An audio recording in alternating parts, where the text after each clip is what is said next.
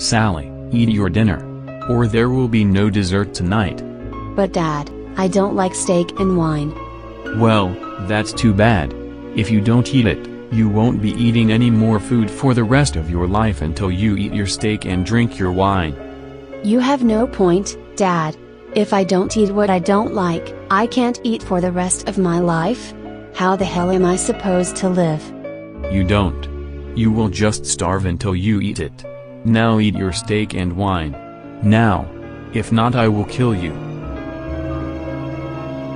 What do you want? I don't like it, I don't like it, I don't like it, I don't like it, I don't like it. Wanna die? Fine. I will eat my steak. Good. That's the Sally I want to hear. Okay. I just ate my steak. Are you happy now? You you serious? You ate nothing. Eat your steak now. No. Now.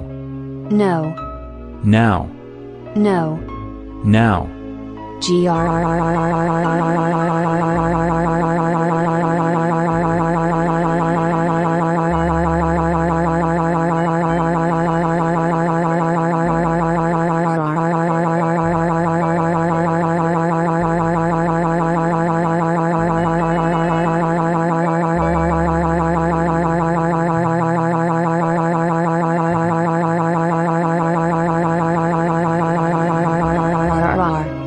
That's it.